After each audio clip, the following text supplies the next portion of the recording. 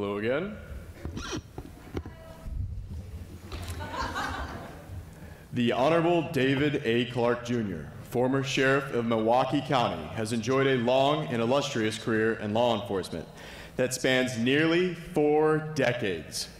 His public service began in 1978 at the Milwaukee Police Department, where he served 24 distinguished years and was promoted numerous times, including being chosen as the commander of the department's first district and commanding officer of MPD's Intelligence Division, which produced and shared intelligence for dignitary protection in conjunction with the Secret Service, the Department of State, and other federal agencies. In 2002, he was appointed at Milwaukee County Sheriff's by Republican Governor Scott McCallum. And in November of that year, he was elected for his first four year term, earning 64% of the vote. Sheriff Clarke was reelected four times, and his victory margin rose to 79% when he was last reelected in 2014. Earlier this year, he released his best selling book, Cop Under Fire, which chronicles his childhood and the challenges he and countless other officers face in law enforcement today. Throughout his law enforcement career, Clarke also received numerous awards, including the Charlton Heston Courage Under Fire Award and the American, excuse me, the Americanism Award for the Milwaukee County War Memorial Veterans. In addition to his dedication and focus as the sheriff of a large metropolitan county like the Milwaukee, Clarke developed a passion for political commentary, becoming known as the People's Sheriff because he could explain complicated national controversies in a way that everyday people could understand. He was the keynote speaker at countless events across the U.S meeting with business persons, police officers, sheriffs, and their deputies, as well as community leaders and ordinary Americans who appreciated his no nonsense way of promoting conservative values. It wasn't long before he realized that he had a gift for relating to people and that he truly enjoys mobilizing Americans to become more politically active and civically engaged. Please join me in welcoming Sheriff Clarke.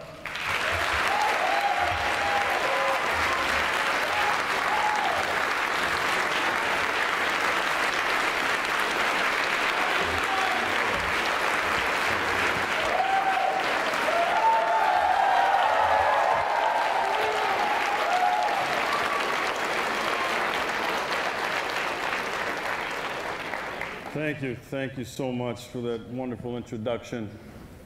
Uh, I want to go through a couple of house rules first before I speak. I have some prepared remarks and then I have some extemporaneous remarks that I want to share with you as well. It's, it's an extreme honor, it really is, to be here today, to have been asked to come and, and, and speak to all of you. Uh, I'll probably say this one or two times during this presentation. This is not about me. This is not about me. This is about the movement.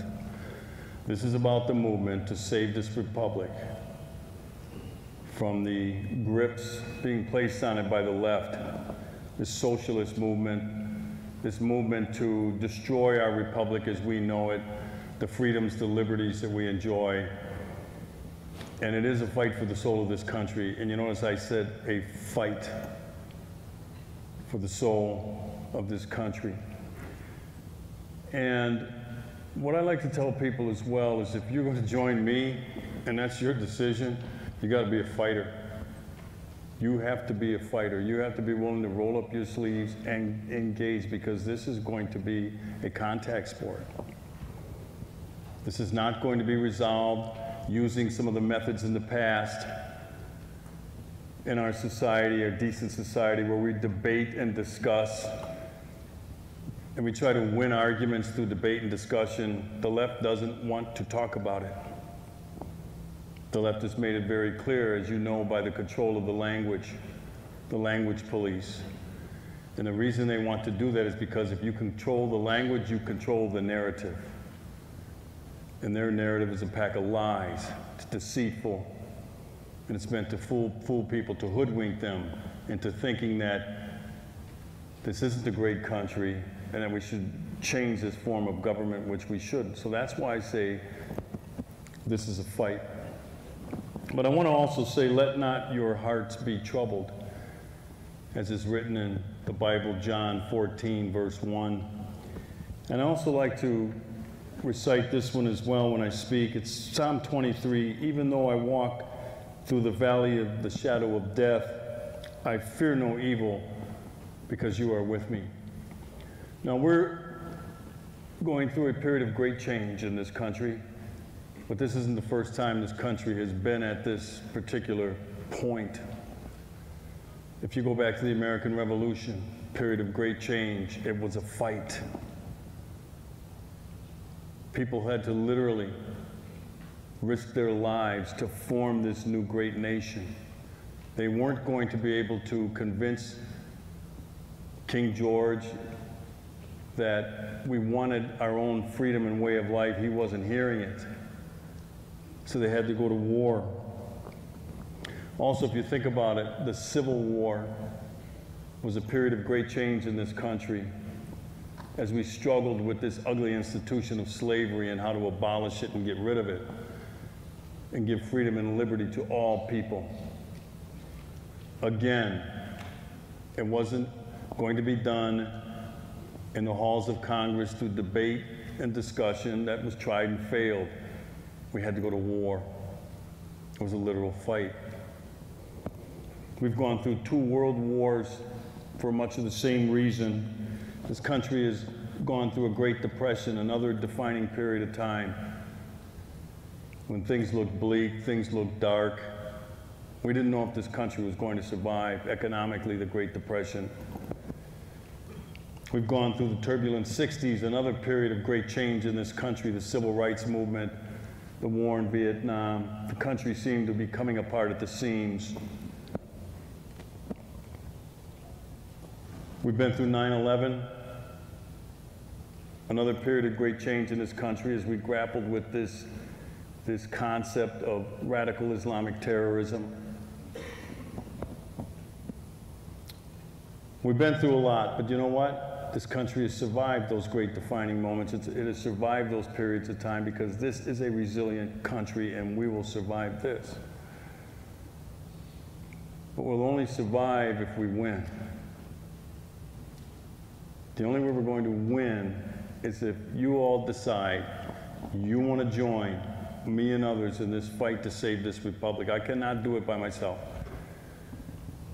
As a matter of fact, I'm taking on a new role now. I retired recently after nearly four decades in law enforcement. Let me give you a, a, a brief tour of how I got here today, and I don't mean the flight from Milwaukee. Several years ago, two things were going on. One was the riots in Ferguson, Missouri, followed by the riots in Baltimore, Maryland, over this perceived police use of force, which was a facade.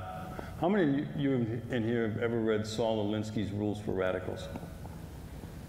Okay, a few hands for those of you who haven't get it, it's a small, it's a quick read. You should be able to read the thing in, in a day if you just sit down for a couple of hours.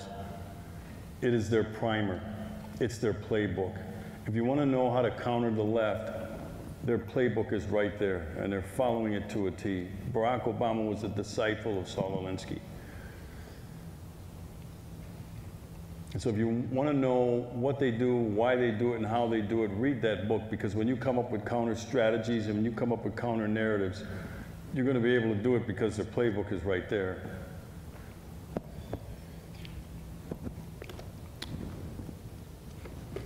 So we have this, this attack on police. Why did we have this attack on police? We had this attack on police because the police officer, the American police officer, is on the front lines of defending the rule of law. In order for the anarchists to win, they know they must destroy this concept of the rule of law. We, not so much anymore, me, I retired. The American police officer defends the rule of law. They're on the front lines. And they know that if we weaken the police and if we destroy their will to enforce the rule of law, they're halfway to victory. Chaos, that's what they're trying to promote. That's what they're trying to create chaos within this orderly society. Because once chaos begins, they can be more successful, and there's nobody to push back. So I identified this thing for what it was back in 2014. And I said so publicly on national cable television. I said, this movement, this started out as Hands Up, Don't Shoot. It was Hands Up, Don't Shoot long before it was Black Lives Matter. And when that lie was discovered, they had to quickly go back into hiding.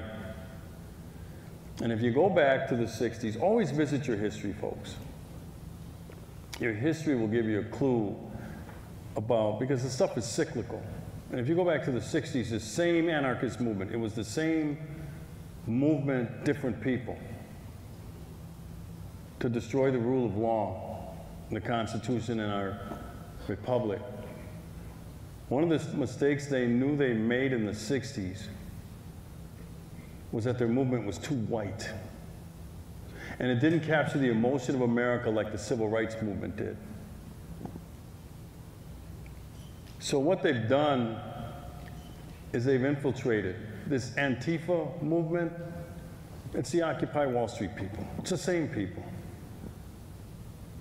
Now they're masked. And now they've infiltrated what maybe started out as a legitimate issue, police use of force. We can have those discussions. We derive our authority, we the police, from the will of the people.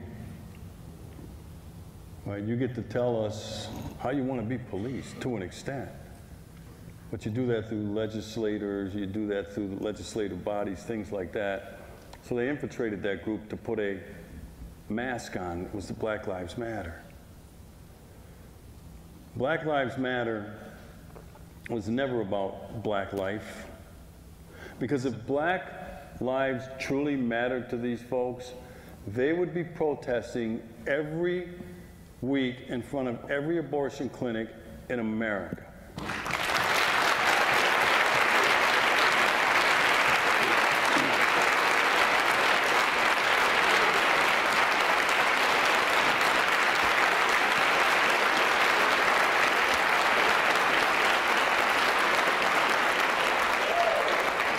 Because if you think about it, if you think about planned,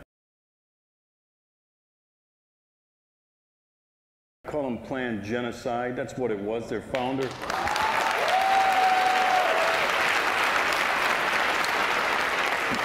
Their founder, Margaret Sanger, a eugenist, advocated for the extermination of the black race from the face of the earth. As a matter of fact, she referred to black people as human weeds that needed to be exterminated. That's Planned Parenthood. Planned Parenthood aborts more black babies than any other race in America. So I ask, where's Black Lives Matter? I thought Black Life mattered. In one year in New York recently, I think it's 2012, but don't hold me to the year, more black babies were aborted than born. Think about that in New York City. One of the other things I said if Black Lives Mattered, this movement would be protesting in every urban center in America where we see on a daily basis young black men killing other young black men. And so I ask, Where's Black Lives Matter? I thought Black Life mattered. Black life doesn't matter to this movement. That is a mask. It is a mask which captures the emotion of people who maybe aren't as versed in some of these issues. They don't ask for the data, they don't ask for the research, but they hear these things and they, they all of a sudden the emotional part gets to them and they, they start to feel sorry and have empathy this isn't about the police use of force. It's not about black life. It's about destroying this republic, weakening that institution, that being police organizations that defend the rule of law. So I said in 2014, this is a political construct. This has nothing to do with black life or the police use of force. It had everything to do with energizing the black vote for the 2016 election. That's what that was about. And I identified it early on. And of course, I was told I was crazy. Well, look where we are today.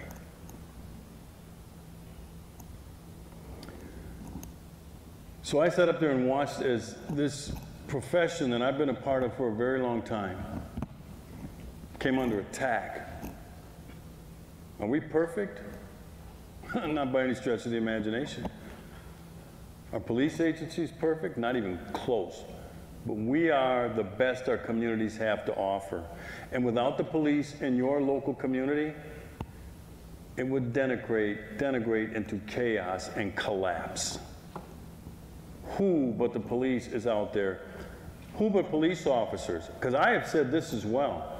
You want to know who truly believes that black life matters? It's the American police officer, mainly white, who go into these urban ghettos, risk their lives to preserve peace and to save other black people.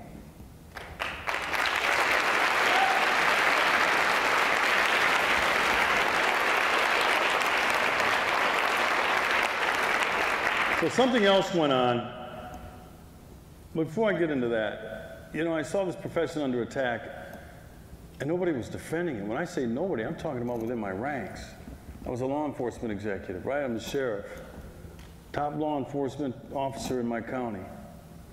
And I'm watching this, these attacks, these smears that had no foundation. They weren't backed by any empirical research. There was no data to support it that black that, that, that law enforcement officers use force as, at an inordinate rate against young black males. I'm telling you today, the data doesn't exist because it's not true. As a matter of fact, the data and the research show the opposite. So it's a lie. So I renamed Black Lives Matter Black Lies Matter because it was premised on a lie about the police use of force. And I stood up there and watched, and like I said, I send men and women out into harm's way every day. I don't know if they're coming back at the end of the day. The least I can do is demonstrate to them that since I'm sending them out into harm's way, that I'll have their back if something goes horribly wrong through no fault of theirs. Somebody's got to fight for them. And no executive would do it. And I finally got tired of it. And I had some platforms available to me through television. And I stood up on behalf of the American police officer. And I made it clear, I said, I don't speak for every police officer in the United States of America, but I will speak for this profession because I've been a part of it. It's been good to me. So I went out to defend the profession. And in defending the profession, I was defending the American police officer. But I could not believe as I stood there and watched these smears and these lies against your community's finest, no chief or sheriff would stand up and say, hold on a second. What are you talking about? Show me the data. Show me the evidence to support your claims, and I'll take a look at it. Because that's what I did. I said, I'll take a look at it. If there's a problem, I said, I want to know about it. I'm an elected official. I work on behalf of the people. I'll take a look. You know what? They couldn't show me because it doesn't exist. But I knew that when I said that. I said, they won't be able to show me anything. So that kind of elevated my profile. I didn't choose that. I think the moment chose me. And in those moments like that, and you'll, if you haven't come across them already today, many of you probably have, sometimes moments reach out and they grab you. And the question is, do you have the will to lead? Do you have the will to get up there and put yourself? Because when I did that, I put a big target on my back. And the left has been coming at me with the ferociousness of a junkyard dog ever since. But I don't care. I don't have that fear. I get death threats, I get smears, I get called ugly names. What did I start out by saying? It's not about me. And I have to remind myself of that from time to time. I look in the mirror, I say, David, I get one of those ugly letters, someone sent me one recently, an email to the People's Sheriff. It said, Congratulations on being named Donald Trump's house nigger. You think that stuff doesn't hurt? Sure, it does. But it's at times like that, I go to the mirror, I look in the mirror, and I go, David, this is not about you. This is about this movement. And this email here is designed to dispirit you, to make you take a step back and maybe walk away from the fight. And ladies and gentlemen, that is not going to happen.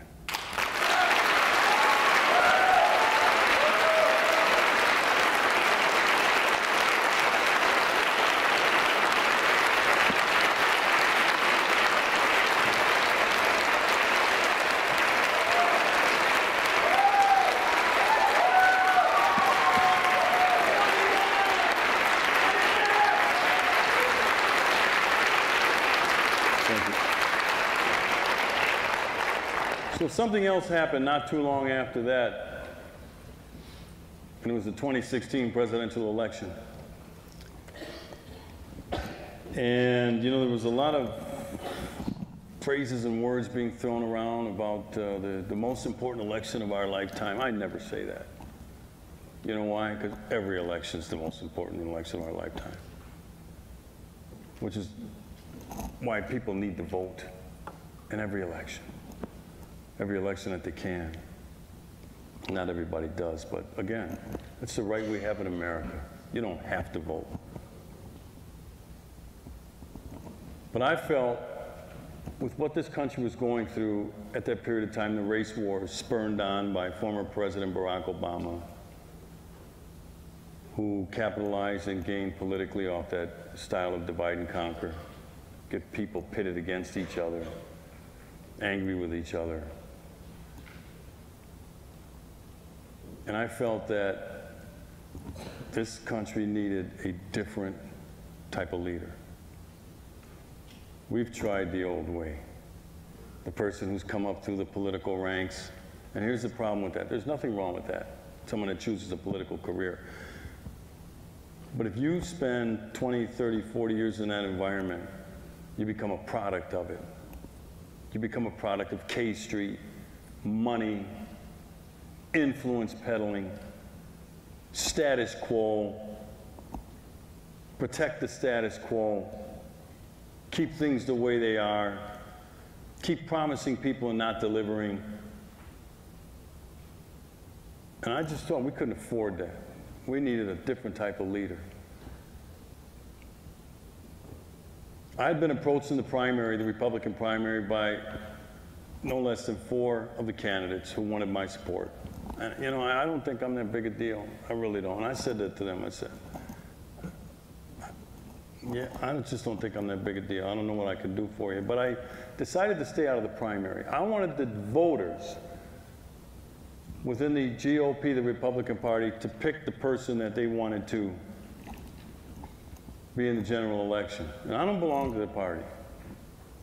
Okay, some of you may know I run as a area. I'm more an old school type Democrat like my mom and dad. My mom and dad were Truman Democrats, JFK Democrats, Bobby Kennedy Democrats, Scoop Jackson Democrats. Those four that I just mentioned wouldn't be allowed in the Democrat Party today.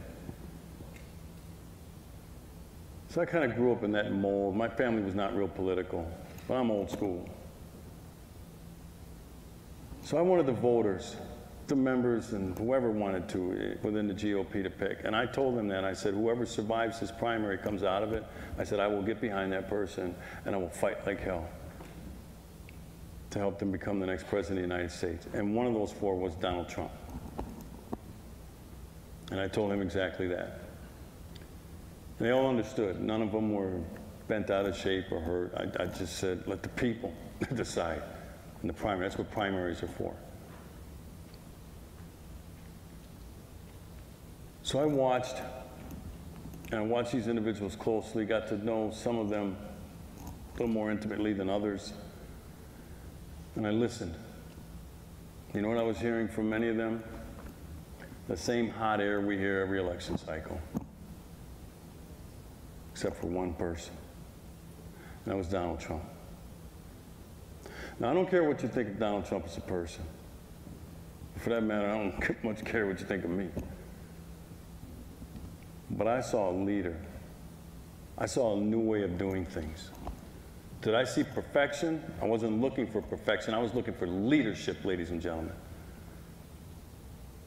Some of what leadership is, is to say things that need to be said, in spite of the criticism.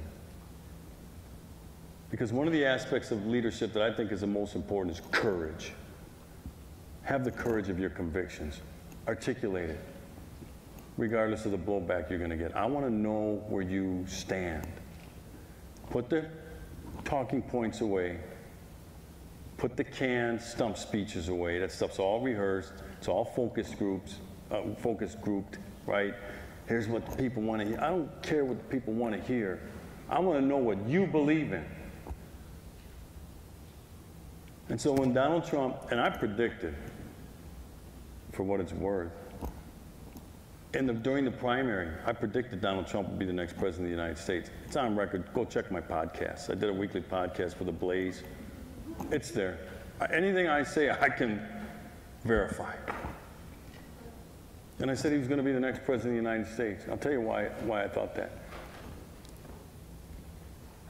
Because I felt like many of you in this country, we need a different way. We need a different way of thinking. We need a different type of behavior from our elected officials.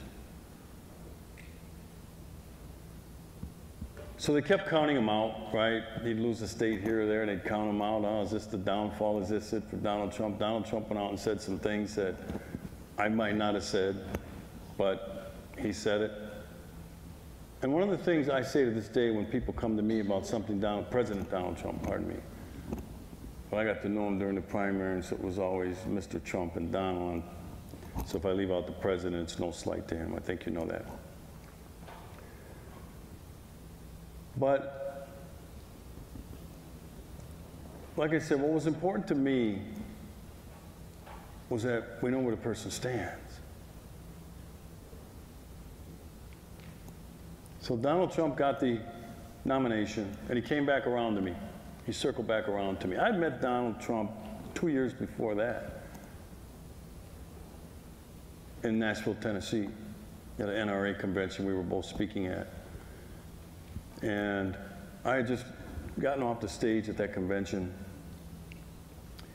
And I was leaving, I was being escorted back to my hotel room, and then Donald Trump and his entourage were pulling up to the speaker's area where they come in in the back. And I looked up and I see Mr. Trump get out, and his entourage, and I told my escorts, I said, hold on a second, I want to go over and say hi to Mr. Trump.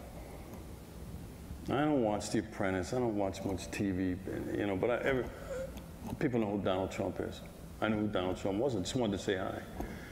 So I waited my turn, as you know, this big group surrounds him, and he's talking, and I waited my turn, and he's heading in toward the door, and so I walked over in his direction, and I said, Mr. Trump. And before I could get another word out, he said, David, calls me David to this day. He didn't call me sheriff. He calls me David. He said, I've been watching you on TV. You are doing an outstanding job. Keep it up. I was blown away by that.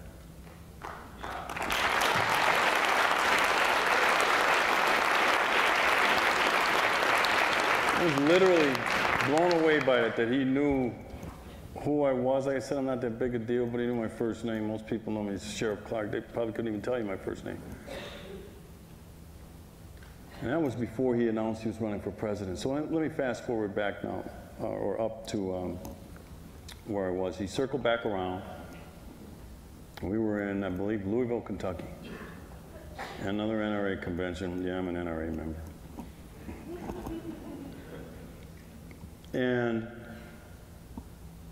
he's, he's coming off the stage. I hadn't spoke yet.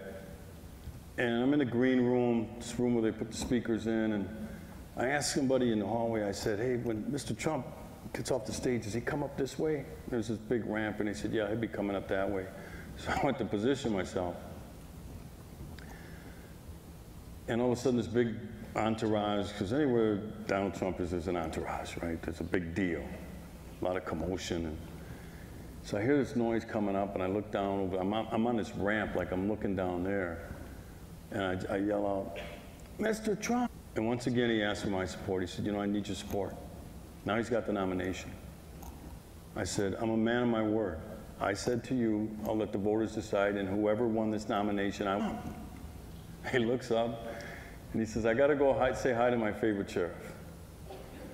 He was supposed to be going out another way. He detoured, came up and he talked to me. And once again, he asked for my support. He said, You know, I need your support. Now he's got the nomination. I said, I'm a man of my word. I said to you, I'll let the voters decide, and whoever won this nomination, I was going to get behind them and fight for them to become the next president. So I said, I'm in. I said, I don't know what I can do for you. But my advice is to put me in the trenches because I'm a fighter. I want to be in the trenches. I don't need the glare of the lights. I don't need the TV cameras. I don't need the microphone. I said, I just want to fight. Tell me where you need me to fight. And he thanked me, and we went our separate ways. And then later, his people from the campaign got a hold of me and uh, put me in a kind of a lead role. And I did two tours, the Great America PAC tours. We did eight different, eight different cities, five different states in a week, twice this past summer, a year ago now. Touring the country, attending the rallies, getting the crowd stoked up for the president. Then Donald Trump uh, took the stage. He didn't appear at all of them, but our, our job was to rally the base. And ladies and gentlemen, this is where I got that feeling he was going to be the next president of the United States. I felt this undercurrent out there that the polls were not capturing, the polls did not care about, the media did not care about. You know, flyover country. In between New York and Los Angeles, there was a groundswell of people who have had it with what's been going on in this country, with a number of things the destruction of our Constitution, the attacks on our Constitution, the marginalization of God in our culture and in our society. We'd become an administrative state, no longer guided by the Constitution. And they saw what I saw in Donald Trump a chance to do it a different way. And I sensed that. And that's when I started predicting he's going to be the next president of the United States. So we had the campaign, and you all know what happened there. Uh, God was looking down on us. He was. That's the way I feel.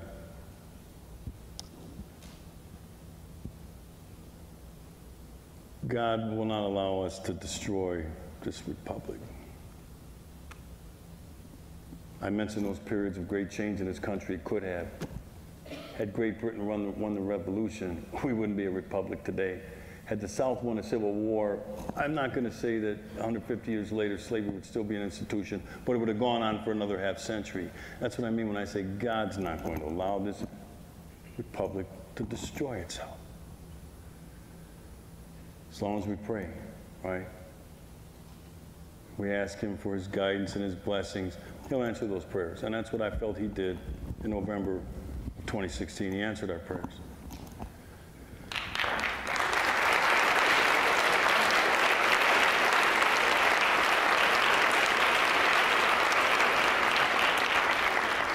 So we get to the last night of the second tour, and we're in Raleigh, North Carolina. You know, the map that I saw him winning through didn't happen.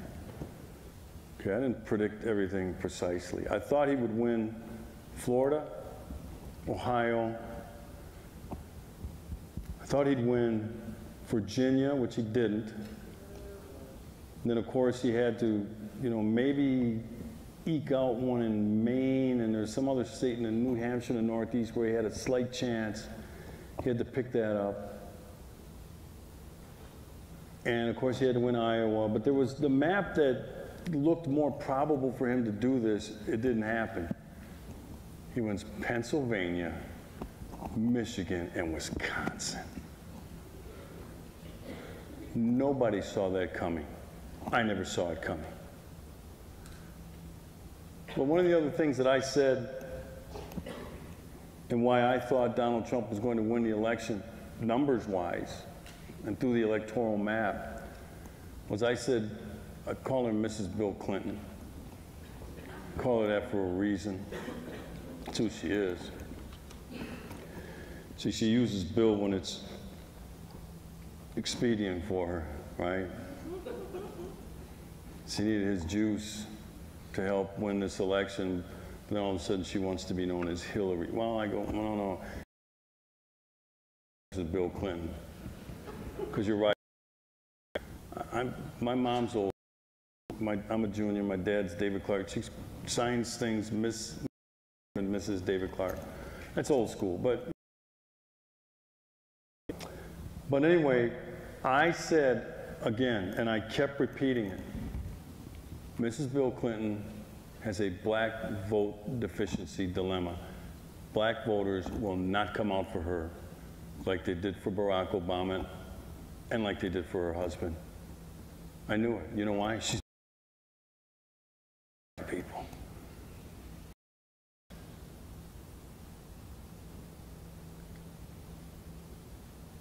Black people are smarter than that.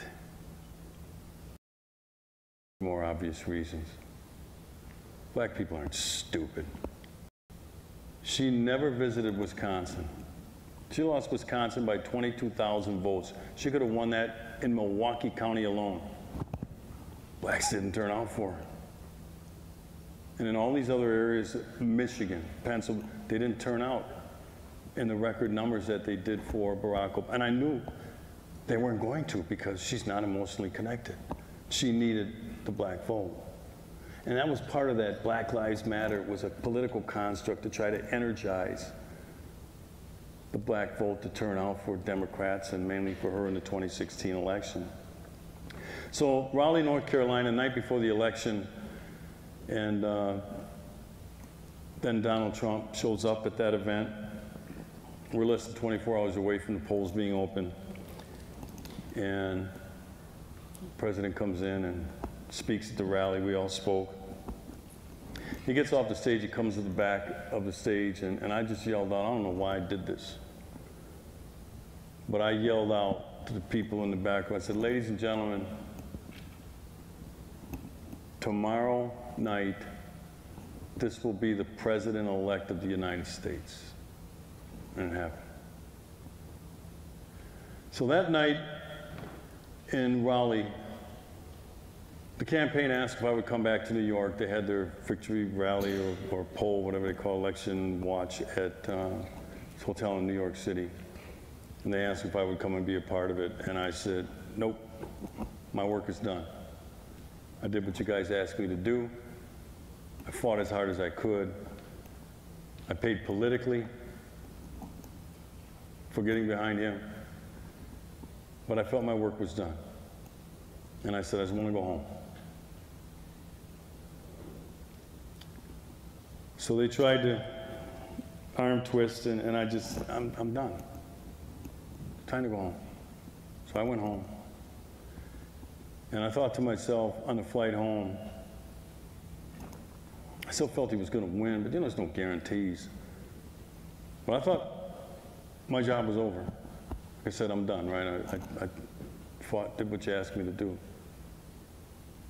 So he gets elected president of the United States. Of course, I was head over heels over that. And then I attended inauguration, get invited to all that stuff, and you know, well, I mean, that kind of goes along with it. I wanted to experience an inauguration in Washington, D.C., first time in my life. So I went to that. And the day following his inauguration, actually was that night, and Antifa shows up. Introduces Antifa. Writing in Washington, D.C. And the next day is this big women's whatever in Washington, D.C. And I wanted to see some of that. So I'm walking around Washington, D.C. I remember I was on 14 and F Street. Lot of people attend.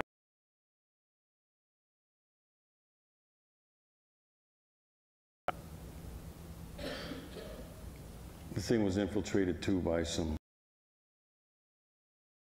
down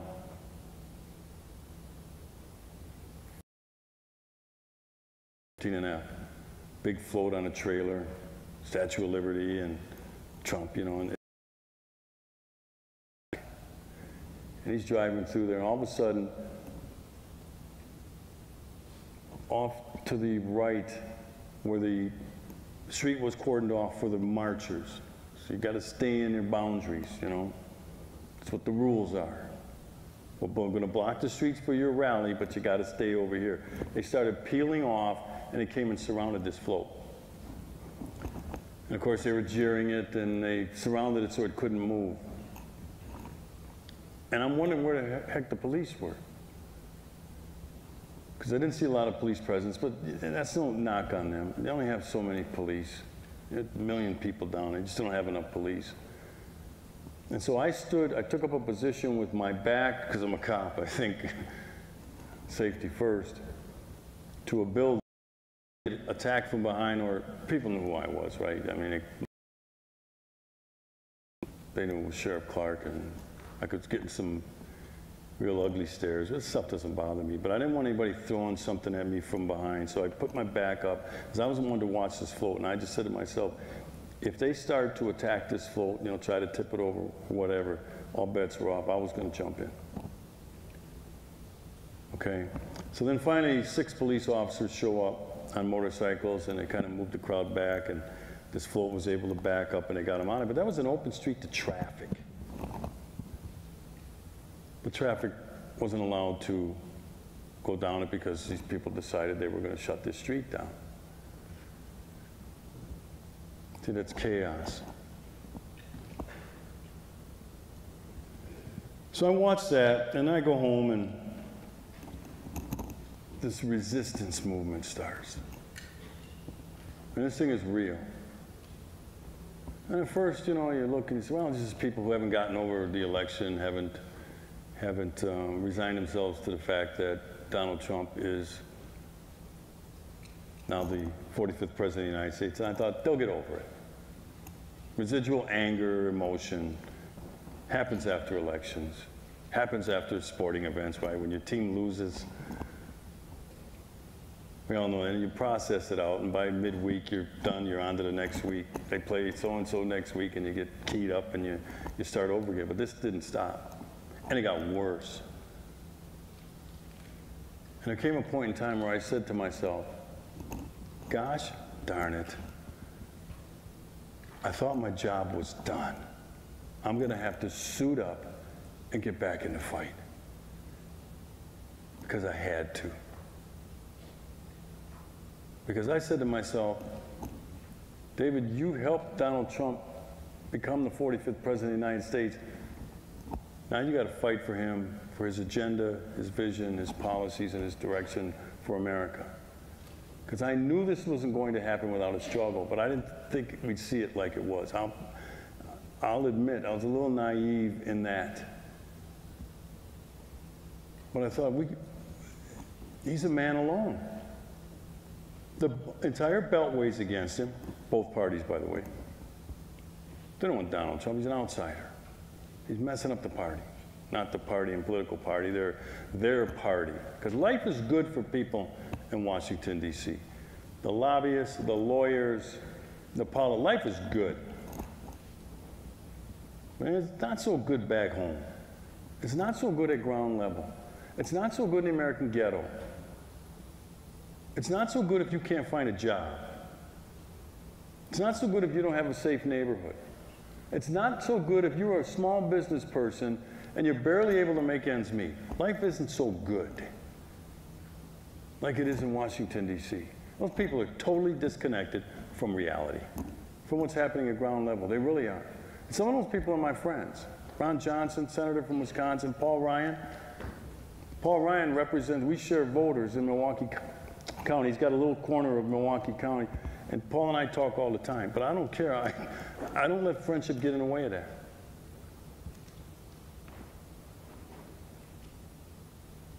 I've always committed myself to you, the people. And they weren't hearing you in Washington, D.C. And they were going to stand for Donald Trump to come in here and, and upset the, the, the, the apple cart for the good thing that they have going on inside the Beltway. So I felt a duty and obligation to get back out there and start fighting and start rallying the people and rallying the troops, energizing the troops. Because this is a fight. And like I said, the, the, the traditional means of doing this, Congress debating, and that's not going to work. It's not going to work. Illegal immigration is killing this country. If you're going to be a sovereign nation, and the United States is a sovereign nation, you have to have borders. Those borders have to be defined, and you have to protect and defend those borders. The left wants borderless society. We're a republic. We're not that. There's a number of reasons why we need effective immigration law. One is we have domestic and foreign security issues. Illegal drugs and guns coming across the border, gangs, MS 13, coming across the border in the United States, wreaking havoc in neighborhoods, selling poison to your kids, your friends, the form of drugs, the violence associated with it. Then, of course, you have national security issues, 9 11. These guys were coming back and forth across the border, flying into the country at will. In defiance of the State Department, some of these people were on no fly lists and it was, wasn't being enforced.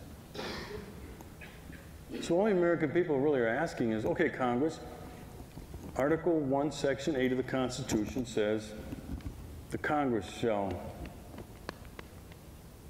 create laws on immigration naturalization, it says, but immigration. The Congress. The Congress. Not the states, not the courts, not the president, like Obama did with DACA. It says the Congress. Now, the Congress didn't want it. It's too tough an issue, right? You're worried about getting reelected. This isn't about their reelection. Why do we have to remind them of this? This is not about their reelection. It's about fulfilling your oath. You said I'll support and defend the Constitution, force the laws like the president does the same thing. And I said, well, just do it. You took it off. Those are words on paper. Do it. I know it's hard. If it's too hard, you know what? Quit. Just quit. Let somebody else do it. Second reason why it's important to defend your borders. They're public health issues. Remember the Zika virus? Zika virus? Didn't start here in the United States. It was brought over here from people traveling back and forth across our borders. And if you remember, during that scare, Zika virus, started setting up checkpoints in certain countries where this was known to be a problem, and they were testing people, taking their temperature before they get on a plane. That's why you have to have effective immigration. Public health issues. H1N1 did not start in the United States. So you want to prevent the spread of communicable diseases from some of these countries well, they're more prone to this for whatever reason, right? I mean, eh, nobody created the mosquitoes, but some of the the um, the hygiene issues and whatnot, and so you have to, for public health, you have to have effective immigration. The third reason you have to have effective immigration, people don't like this. They cringe when I say it. I don't care. It's true. You want to prevent the influx of a lot of another country's ne'er-do-wells. People are just going to come over here, they have nothing to add to our American society. They come over there and they just jump on the public assistance roll. It's a stress on our public health system. It's a strain on our school systems. I don't mind educating their kids, but this stuff costs money, and so you, you have to just control the flow. We're not saying no new immigrants. You have to control it. You know what every other country does? We have the most lax immigration laws in the world. So other countries do it. Oh, no one, the left doesn't say anything. We do it. Oh, you're xenophobic. Oh, no, not really. All right, the green cards, right, when they expire, you got to go home. We weren't enforcing that. So now we're sitting here with this huge problem because of neglect. So Donald Trump comes in and says, we're going to straighten out this immigration system. He throws it back to Congress with the DACA, where he undid Obama's imperial uh, decision to uh, do what the Constitution says is Congress's role, right? And remember what he said? Former President Barack Obama, he said, if they don't act, I will. That's not what this document allows. It has, under Article 2, the executive branch, and it says what the executive can and can't do. And it doesn't say you can bypass Congress if they won't do their job. It doesn't say that in here. So he did that outside the Constitution. So Donald Trump comes in, and he voids that order and throws it back into Congress where it is supposed to be, and he's the xenophobe. No, he's fulfilling his oath. That's all he's doing.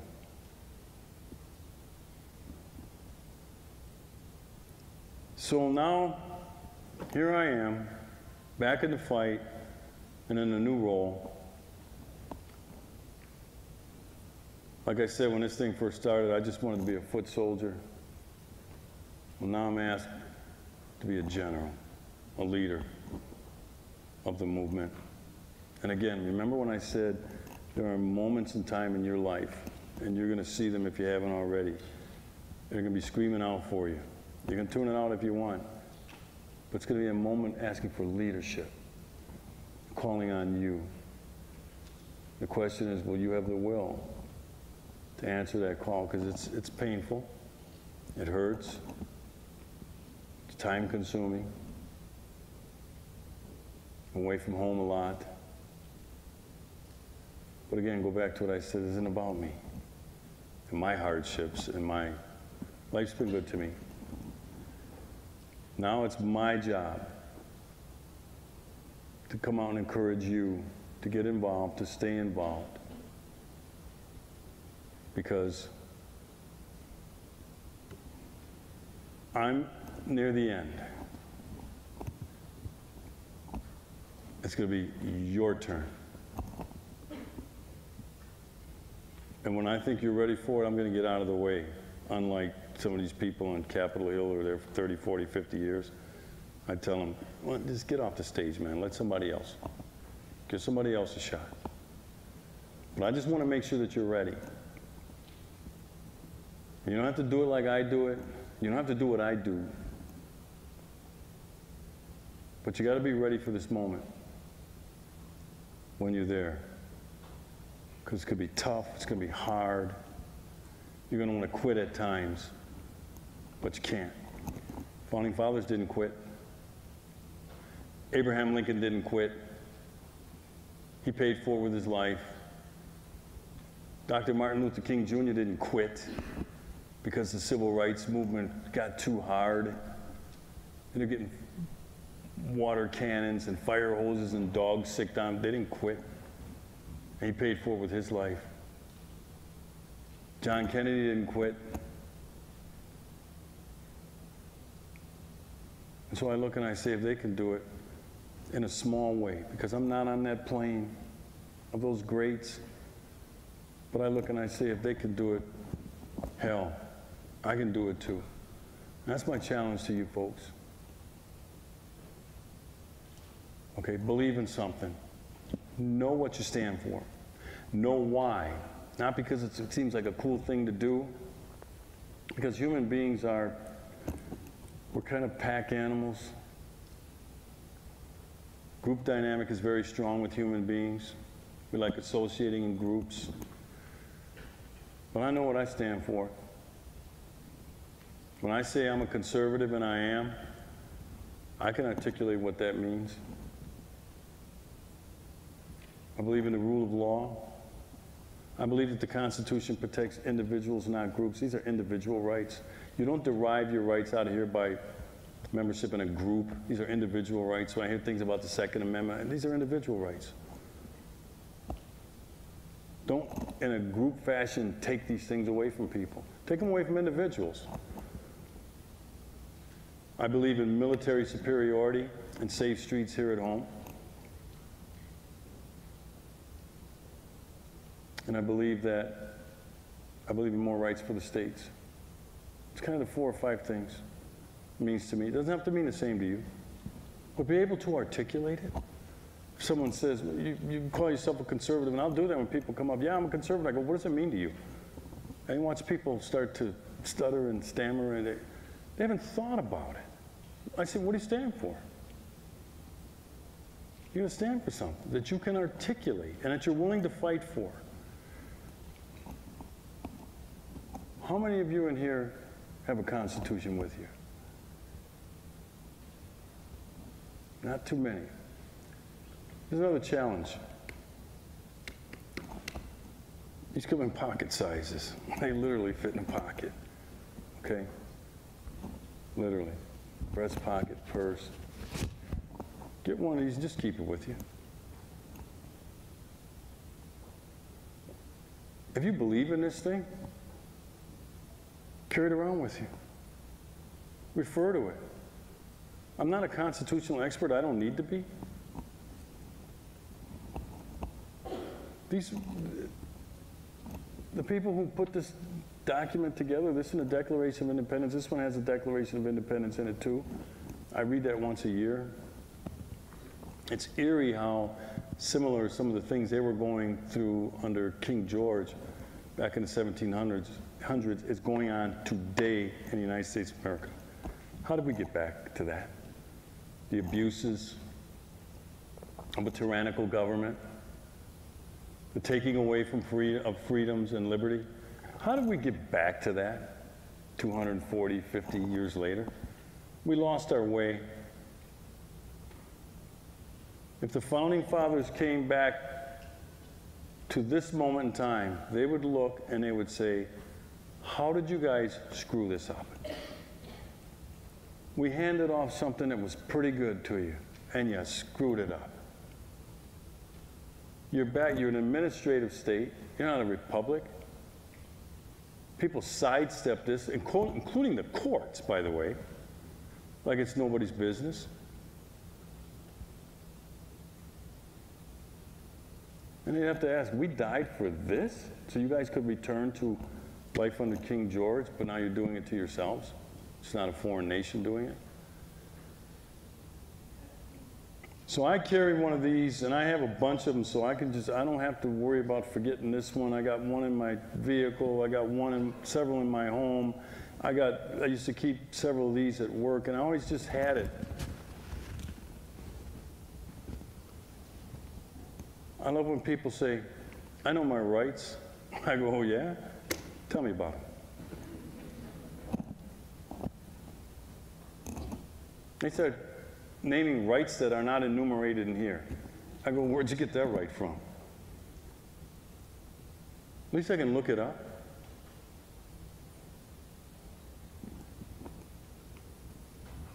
I don't want to put anybody on the spot, but I'm going to.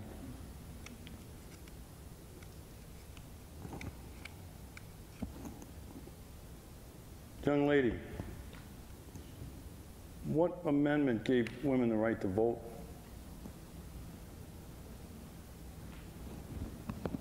And I'm not, like I said, I'm not trying to, I am putting you in the spot, but I'm not trying to embarrass you. Well, that's why I, if someone were to ask, I don't have this memorized.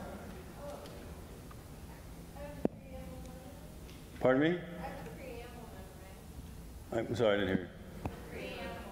No. It's actually yeah, someone said it. It's the, uh, the 19th. Yeah, it's uh, the 19th. Sir, what amendment freed the slaves?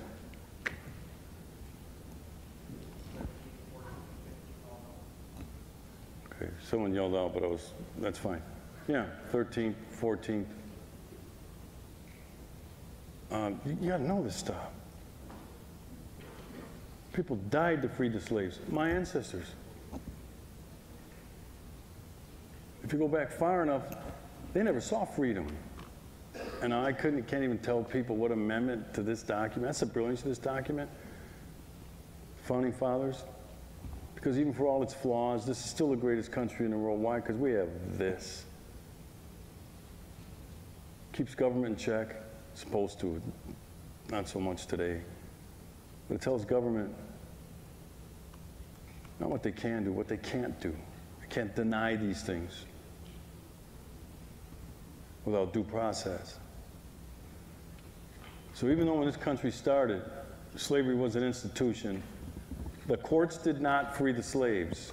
The Supreme Court did not free the slaves. As a matter of fact, the Supreme Court several times upheld the institution of slavery. Plessy versus Ferguson, the Dred Scott decision, upheld the institution. So, so I don't worry about the courts and how wonderful and all of this that they are. It's, it's, this freed the slaves. We amended the Constitution, and the same with women's right to vote. The courts did not give women the right to vote.